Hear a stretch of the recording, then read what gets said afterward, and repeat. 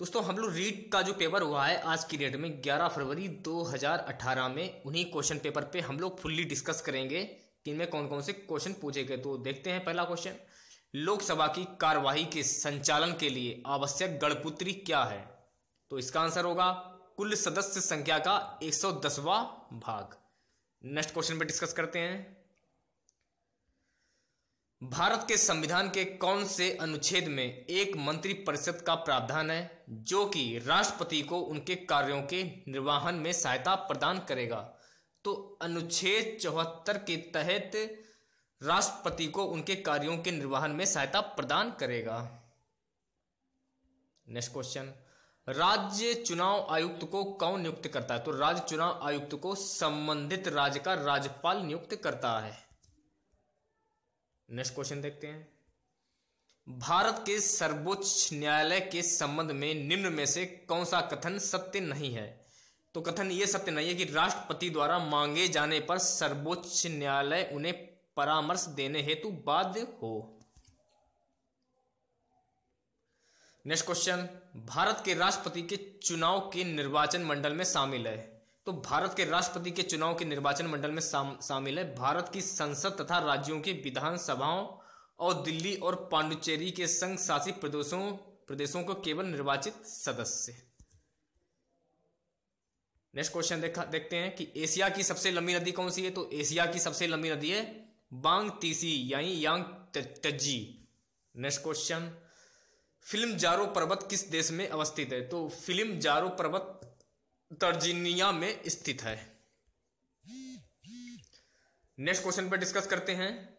Next question यह है कि राजस्थान का कौन सा नृत्य 2010 में यूनेस्को की अमूर्त सांस्कृतिक धरोहर सूची में सम्मिलित किया गया है? तो राजस्थान का जो नृत्य है वो है कालवेलिया, जो कि अमूर्त सांस्कृतिक धरोहर सूची में शामिल किया गया है। नेक्स्ट क्वेश्चन, संत मीराबाई के पति का नाम क्या था? तो संत मीराबाई के पति का नाम था भोजराज। आंसर हो जाएगा भोजराज। नेक्स्ट क्वेश्चन देखते हैं। चित्रकला शैली बणी ठणी संबंधित है। तो चित्रकला शैली बणी ठणी संबंधित है। नागरी दास से आंसर हो जाएगा नागरी दास नेक्स्ट क्वेश्चन चुरू ज़िले के, चुरू ज़िले के ददरेवा ग्राम संबंधित है। तो चुरू ज़िले के ददरेवा ग्राम संबंधित है गोगा जी से। आंसर हो जाएगा गोगा जी। नेक्स्ट क्वेश्चन खेटाटली आंदोलन में अपने जीवन का बलिदान किसने दिया? तो खेटाटली आंदोलन में अपने जीवन का बलिदान दिया था अमरता देवी ने। आंसर हो जाएगा अमरता देवी। नेक्स्ट क्वेश्चन पुस्तक आनंद मठ में वंदे मातरम किसने लिखा? तो पुस्तक आनंद मठ में वंदे मातरम बंकिम चंद्र चटर्जी जी ने लिखा है। नेक्स्ट क्वेश्चन देखते हैं। भारत के संविधान की प्रस्तावना में उल्लेखित, हम भारत के लोग से क्या तात्पर्य है? तो भारत के संविधान की प्रस्तावना में उल्लेखित हम भारत के लोग महान के आशय सब प्रभुता भारत के लोगों में निहित है। नेक्स्ट क्वेश्चन देखते हैं। भारत के संविधान के किस अनुच्छेद के अंतर्गत अस्पृश्यता को समाप्त किया गया? तो भारत के संविधान में अनुच्छेद सत्रह में अस्पृश्यता को समाप्त किया। तो आंसर हो जाएगा अनुच्छेद सत्रह। नेक्स्ट क्वेश्चन देखते हैं।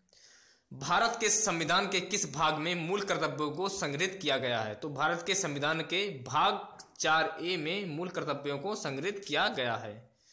Next question. भारत संविधान का अनुच्छेद 25 संबंधित है तो इस क्वेश्चन का आंसर आप कमेंट बॉक्स में दे सकते हैं। इस क्वेश्चन का आंसर आप कमेंट बॉक्स में मेरे दे सकते हैं, ठीक है? नेक्स्ट क्वेश्चन पे डिस्कस करते हैं कि समताप सीमा पर औसत तापमान रहता है। तो समताप सीमा पर औसत तापमान रहता है तितालीस degree Celsius, next question. Basalt cell का उदाहरण है तो बेसाल्ट सेल का उदाहरण है, व्राह आग्रह सेल, आंसर हो जाएगा, ठीक है? नेक्स्ट क्वेश्चन देखते हैं। एक पोषण स्तर से दूसरे पोषण स्तर तक औसत ऊर्जा का प्रवाह होता है तो एक पोषण स्तर से दूसरे पोषण स्तर तक औसत ऊर्जा का प्रवाह होता है ten percent. Next question. Megasthenes किसका राजदूत था? तो मैग स्तनीस सेल्कुयस का राजदूत था। नेक्स्ट क्वेश्चन कौन चंद्रगुप्त द्वितीय की राजसभा में एक नवरत्न नहीं था? तो वो था फायान जो कि चंद्रगुप्त द्वितीय की राजसभा में नवरत्न नहीं था। नेक्स्ट क्वेश्चन सामाजिक सुधारक में गोविंद गुरु का जन्म हुआ। तो सामाजिक सुधारक गो, सामाजिक सुधारक गोविंद गुरु का जन्म हुआ था बंजारा परिवार में। नेक्स्ट क्वेश्चन देखते हैं।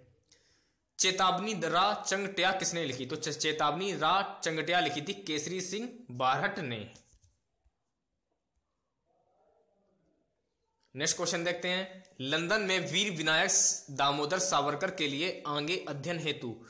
छात्रवृत्ति की व्यवस्था किसने की थी? तो लंदन में वीर विनायक दामोदर सावरकर के लिए आगे अध्ययन हेतु छात्रवृत्ति की व्यवस्था की थी। श्याम जी कृष्ण वर्मा जी ने। नेक्स्ट क्वेश्चन मृस्त जनपद की राजधानी है। तो मृस्त जनपद की राजधानी है विराट नगर। नेक्स्ट क्वेश्चन देखते हैं। पैगन वंश का आनंद मंदिर कहाँ स्थित है? तो पैगन वंश का मंदिर जो स्थित है, वो है म्यांमार में।